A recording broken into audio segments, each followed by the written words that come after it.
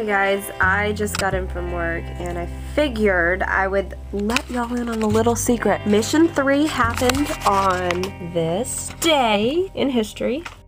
I got to be part of a flash mob, which is something I've wanted to do for a long time. Flash mobbing is going out um, and doing unexpected or strange things out in public and trying to get together as many people as possible to make it the strangest experience ever. Sometimes it's a group of people simultaneously dancing to a Michael Jackson song, or it's a group riding on a subway without pants, and sometimes it's a group frozen in place while everyone around them wonders what's going on. So that is the mission I chose to be part of the Freeze flash mob.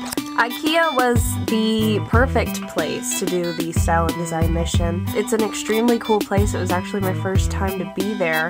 I had to go in with 50 of my friends, test out a whole bunch of stuff, and for three minutes just freeze in place whatever we're doing.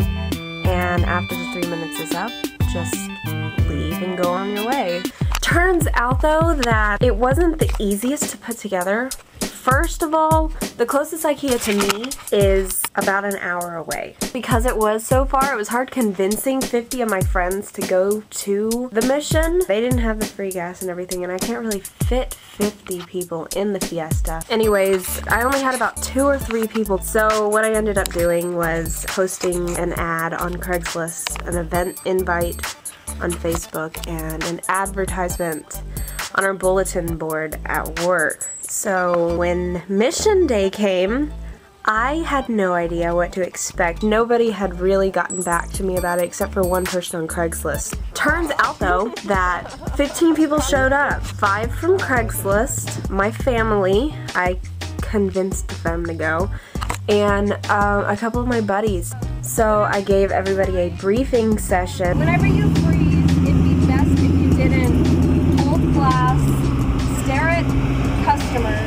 we synchronized our watches 305 to 308.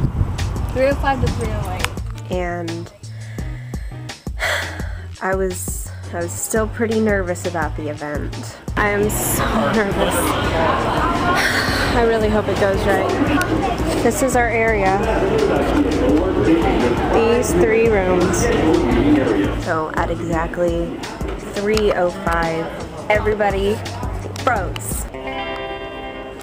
Wherever they were standing or sitting, one person was looking inside a cabinet. My family was, they, they looked like a museum exhibit. It was really cool that they really got into it. After a little while, people finally started to notice. There were some interesting reactions.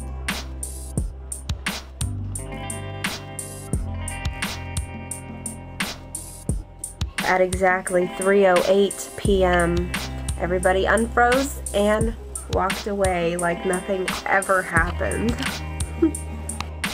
so that's it.